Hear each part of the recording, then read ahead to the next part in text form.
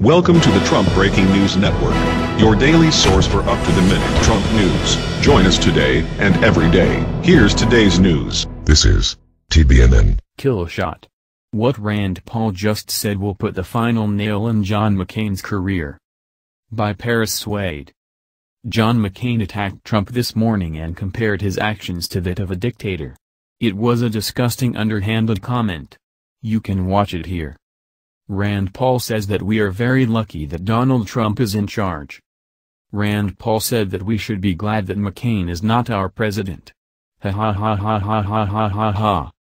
Watch the amazing interview below.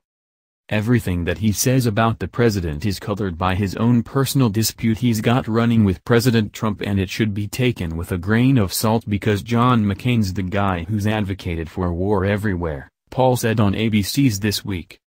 Share this everywhere, y'all. If you think John McCain is a snake in the grass and is working to stab Trump in the back, then get this video out there. Phew. Let's drain the swamp.